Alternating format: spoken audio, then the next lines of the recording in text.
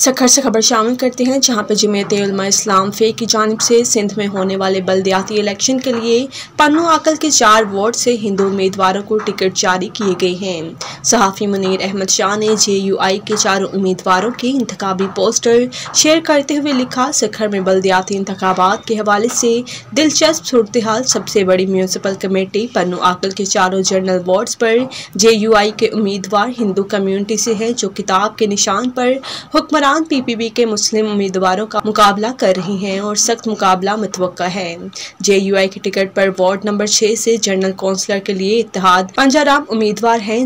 आई ने ward number से Pahlaj Ram ward number दो से सागर कतरी और वार्ड नंबर नौ से घनश्याम दास कतरी को उम्मीदवार नामजद किया गया है